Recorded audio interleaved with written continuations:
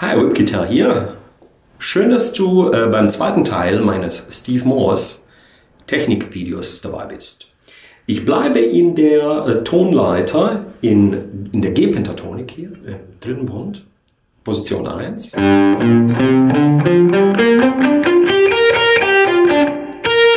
Sechs, drei, sechs, drei, fünf, drei, fünf, drei, fünf, drei, eins, drei oder sechs, drei. Das sind die gleichen Töne.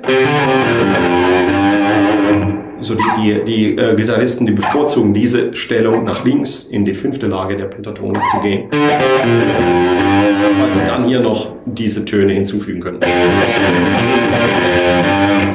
Okay.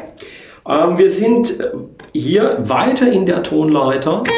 Ich füge diese Töne hinzu. 5, 5, 5, 6, 5, 3. Dreimal. Spiele dann hier 5, 3. Hier die Blue Note. 5, 4, 3. 1, 3. Okay. Mal langsam.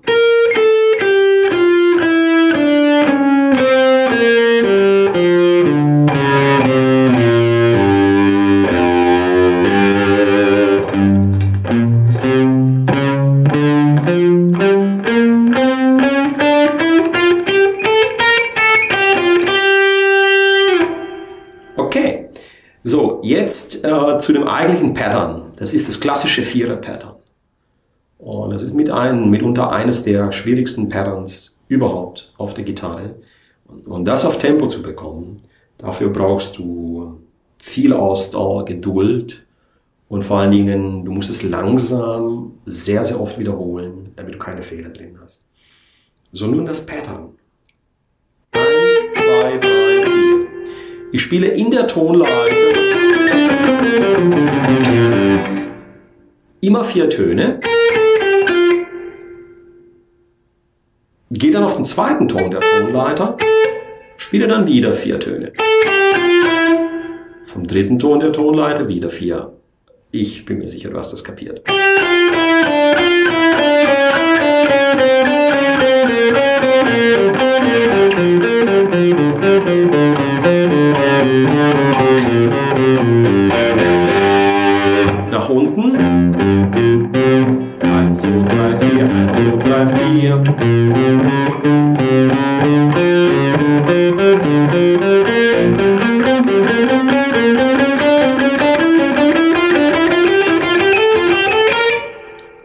Spiele jetzt äh, dasselbe oktaviert hier oben, damit du das äh, gut sehen kannst. Und werde äh, dann ähm, hier schön ranzoomen. So. Und das sieht dann äh, folgendermaßen aus.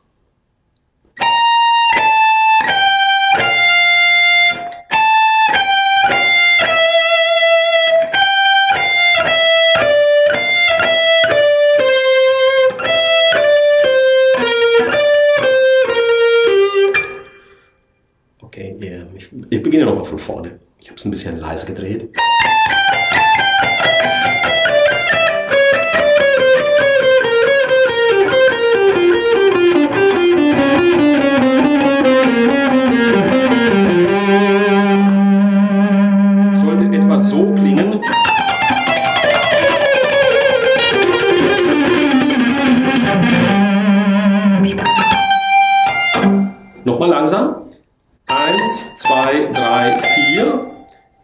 Beginnst du mit dem zweiten Ton der Tonleiter und spielst wieder deine vier Töne.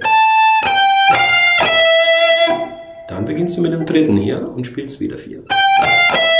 Dann mit dem und wieder vier.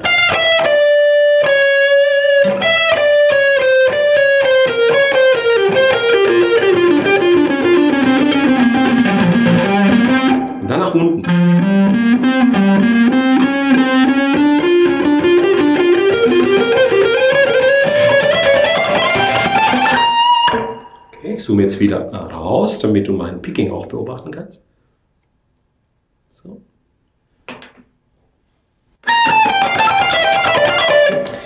Ähm, ich verrate dir jetzt ein, ein wirklich ein, eines der Geheimnisse äh, der, der, des Gitarrenspiels.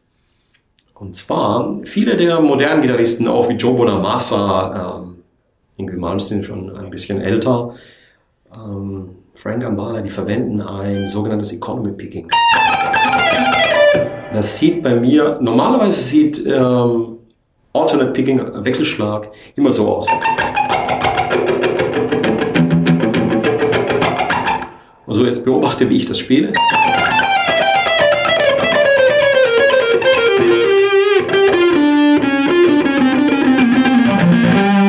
Immer beim Wechsel auf die nächste Seite, wenn ich von unten nach oben picke.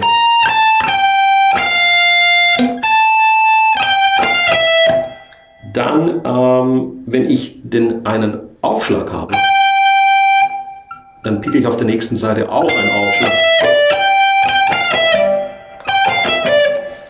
Ich hoffe, du, du siehst das. Ich spiele das jetzt mal einfach die Tonleiter runter. Füge hier noch ein paar äh, Blue Notes hinzu.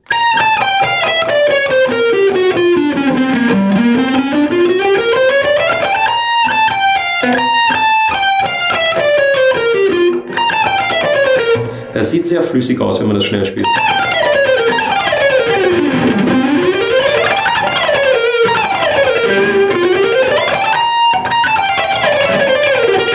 Nur wenn du siehst, dass meine Hand nicht die ganze Zeit so spielt, sondern etwas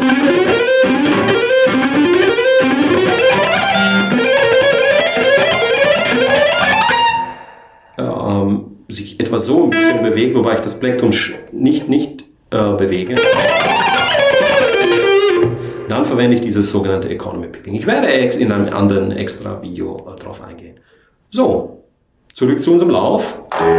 Drei Pattern, Steve Moore Style.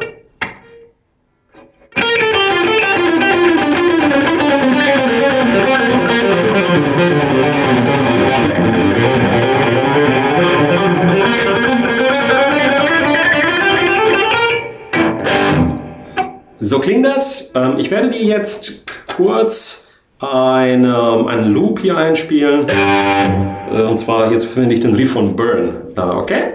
Und dann werde ich diese beiden Beispiele äh, über, über, diesen, äh, über diesen Riff spielen. Der Riff geht so.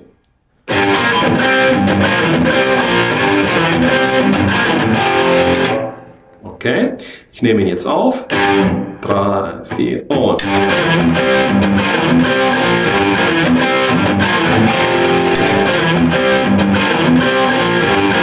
So, wenn ich jetzt dieses Vierer-Pattern überspiele,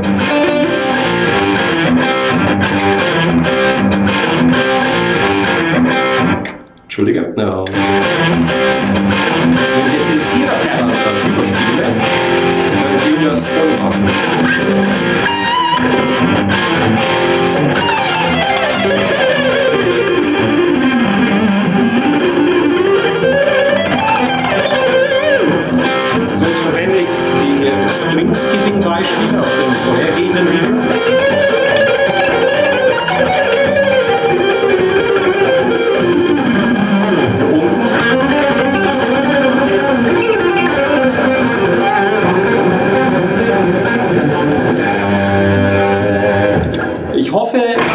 war nicht zu viel Verzerrung im, im Video, im Spiel und du konntest das gut hören.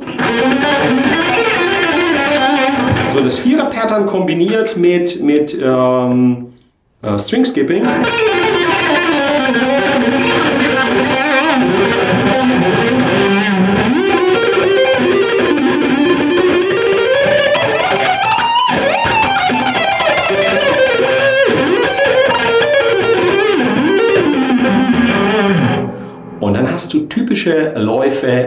Steve Morse. Ich hoffe, du hattest Spaß mit meinem Video.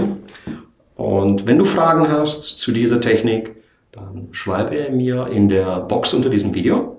Ich wünsche dir viel Erfolg und denke dran, diese beiden Muster des Vierer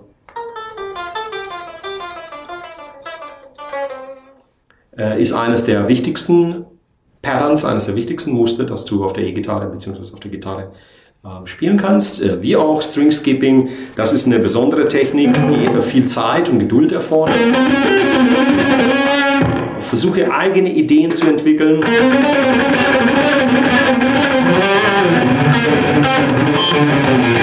Und habe viel Spaß äh, mit diesen Tipps von mir. Ich bedanke mich für deine Aufmerksamkeit. Wir sehen uns im nächsten Video. Bye bye, das war Whip.